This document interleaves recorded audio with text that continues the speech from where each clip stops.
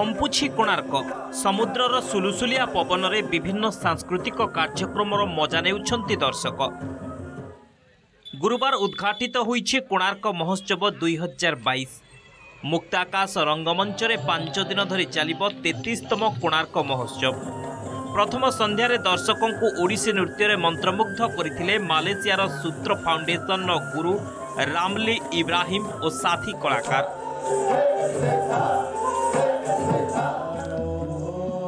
This is our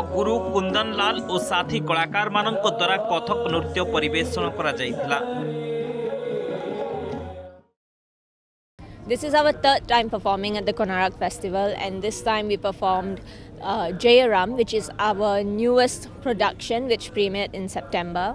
Uh, we are indeed grateful to be here today um, after the COVID lockdown, and we're finally here performing live in front of a huge audience. Um, bringing Jairam to Odisha is always something that is nervous to us, but at the same time, it's exciting, and we are indeed blessed to be opening the Konark Festival today. बहुत बहुत बहुत mesmerizing, बहुत प्यारा. उम्मीद नहीं थी कि Malaysia से लोग आए हैं, सूत्र ग्रुप आया है और इतना अच्छा परफॉर्मेंस देगा, वो भी श्रीराम चंद्र जी के पूरे जीवन चर्चा पर. बहुत अच्छा है बहुत प्यारा है परफॉर्मेंसेस इतनी अच्छी लग रही हैं कि आंखें नहीं छप पा रहे हम लोग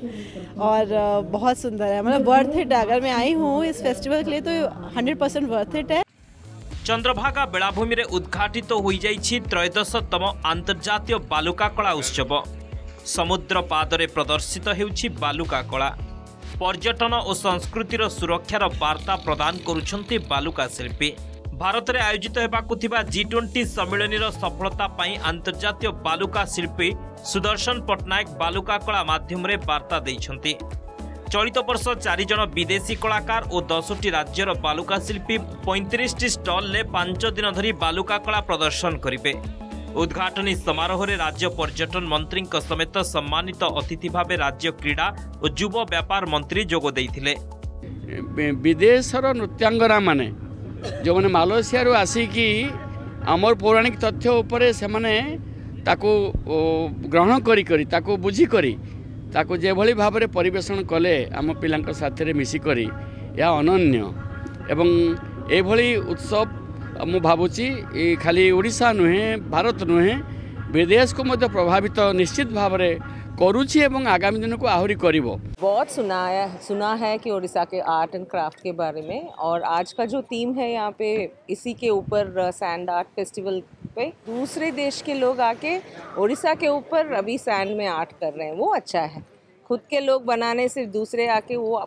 फर्स्ट समझना चाहिए कि ओडिशा का क्या है उसके बाद वो बना रहे वो भी बहुत बढ़िया है बहुत तो खुशी लगुच काम करके आ बहुत गोटे भल थीम देखते जोटा कि लोक मैंने बुझीपारे आउ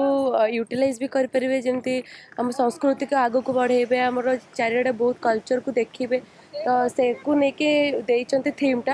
आ बहुत भल लगुच यहाँ करके आज कोणार्क द्वितीय सन्धार इम्फालस्थित जवाहरलाल ने डान्स एकाडेमी र द्वारा मणिपुरी नृत्य कटक स्थित कुञ्जन डान्स एकाडेमी मीरा दास साथी कलाकार द्वारा ओडी नृत्य मानस घोष परिवेषण